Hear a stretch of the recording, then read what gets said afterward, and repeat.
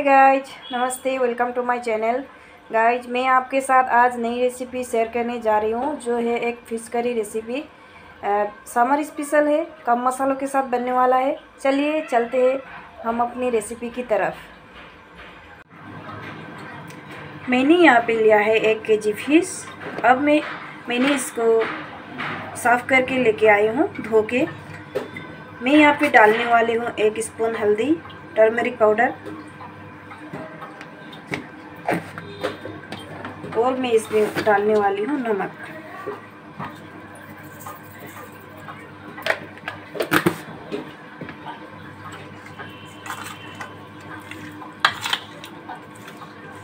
Side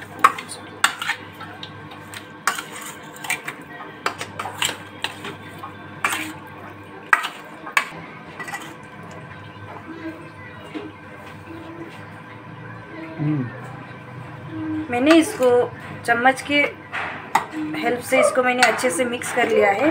अगर चम्मच से ना हो तो आप हैंड के भी यूज़ कर सकते हैं तो अपने हाथों से भी कर सकते हैं।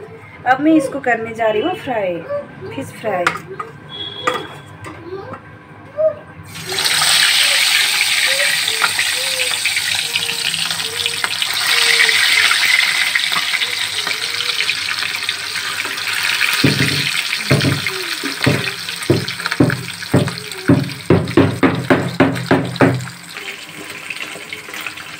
मैंने जो पहले डाले थे, तीन पीस पीस के, उसको मैंने फ्राई करके निकाल दिया है बिल्कुल इस तरह से। इसको ज़्यादा भी फ्राई नहीं करना है, क्योंकि वो अच्छा नहीं होता है, ज़्यादा फ्राई के बाद। और मैं सारे फ़िश को इसी तरह से फ्राई करने वाली हूँ। मैंने यहाँ पे फ़िश को फ्राई कर लिया है और फ़िश फ्राई करते समय एक बात ध्यान में रखना है कि कभी कभी फ़िश चटकने लगता है। जब आप तेल, गरम तेल में डालते हो तो उससे पहले आपको गरम तेल में थोड़ा सा फ़िश डालने से पहले आपको गरम तेल में थोड़ा सा हल्दी पाउडर ज़रूर डालना है। इससे फ़िश कभी नहीं चटकेगा। और मसाले में मैंने लिया है यहाँ पे दो मीडियम साइज़ के टमाटर, दो अनियन और ये थोड़ा सा अदरक, लहसुन का पेस्ट और यहाँ पे मैंने लिया है ये होममेड जीरा पाउडर होममेड चिली पाउडर और स्वाद अनुसार नमक और हल्दी। और मैंने थोड़ा सा यहाँ पे धनिया भी काट लिया है, क्योंकि ये फ़िश जब करी बन जाएगा तो उससे ये ऐड करूँगी मैं। अब मैंने तेल को गरम कर लिया था तो मैंने यहाँ पे अनियन डाल लिया है, जो चॉप करके रखा हुआ था। और इसको मैं गोल्डन ब्राउन होने तक पकाऊँगी।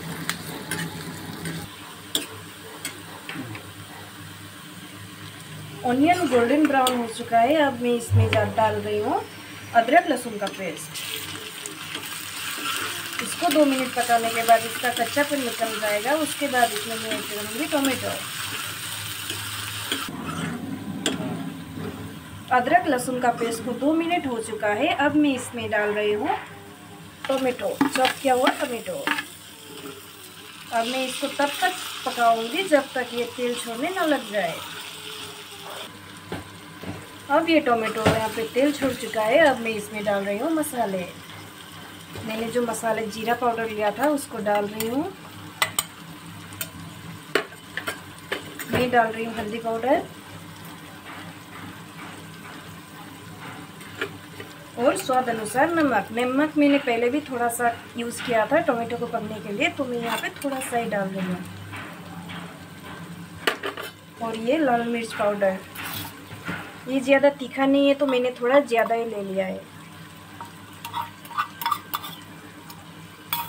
अब मैं इसको पकाऊँगी। इसके बाद ये अच्छे से पकने के बाद मैं यहाँ पे ऐड करूँगी गर्म पानी।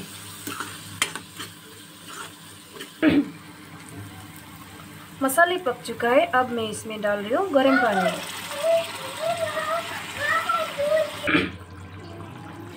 इसमें उबल आ चुका है। अब मैं इसमें डाल रही हूँ फ़िश।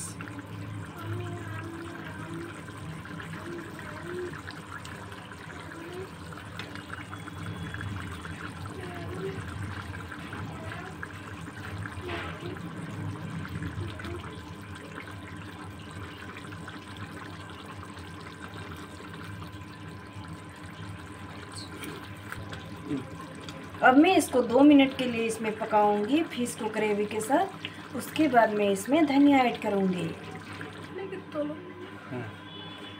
ये पक चुका था तो इसमें मैंने डाल दिया है, ऊपर से धनिया को गार्निश कर दिया है। देखने में कितना सुंदर लग रहा है ना? हो गया ना? एक कम मसालों में, टेस्टी, फ़िश तैयार, फ़िश करी तैयार।